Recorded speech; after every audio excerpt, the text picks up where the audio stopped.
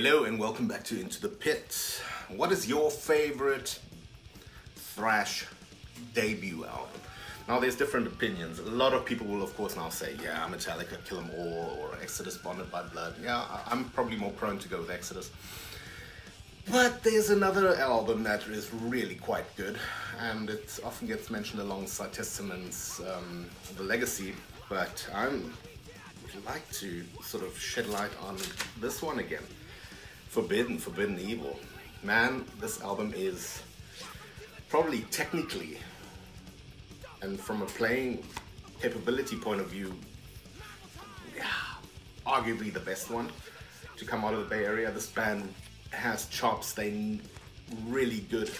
The guitars are phenomenal, the vocals are like, I mean, Russ Anderson has a range that is, um, I think the only thrash vocalist that can actually compete, I hope I'm right, I hope I'm not missing someone here, is probably Eric AK from Flotsam. But um, yeah, this album is my favorite Forbidden album and this CD comes with a nice little layout and some classic flyer collages.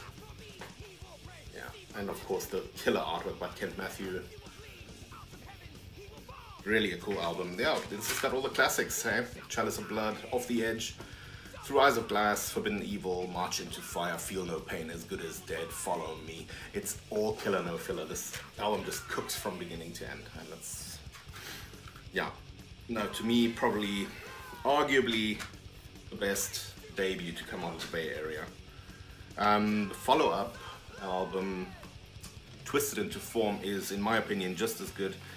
It's a bit more tame, but um, also it's probably where the band got a bit more focused and um, yeah, but they've never had this kind of bursting energy again since since this debut album. Um, but I mean that's the classical situation really. You've got so much time to work on these songs and they plus they're out of your you know, when you started from your youth, you've got that energy, you've got lightning in a bottle and there you go, you know.